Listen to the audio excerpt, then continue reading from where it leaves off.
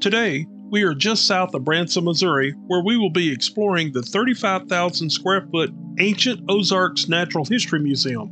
This extraordinary museum is another amazing project by the owner of Bass Pro Shops, Johnny Morris. If you're like us and love to visit places that are not as well known as others, this museum is an experience that will wow everyone in your family, no matter their ages. As we stroll along through the museum, we learn that the Smithsonian Institute rated it to be one of the best collections in America by an individual. Come along with us as we gaze at artifacts from people and animals who lived in the Ozarks region over 12,000 years ago. Then we'll move chronologically through time until the Civil War era. So now we're going to hush and let you enjoy things just as we did.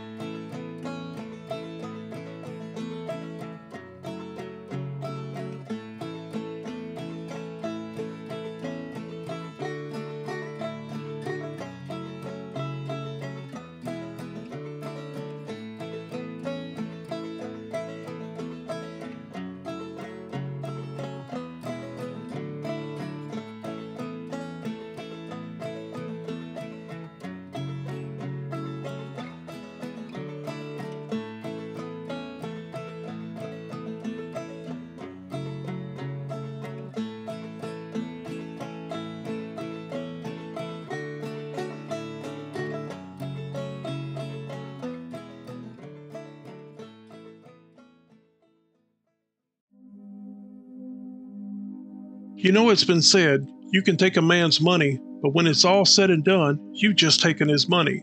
But if you take a man's time, then you've taken part of his life.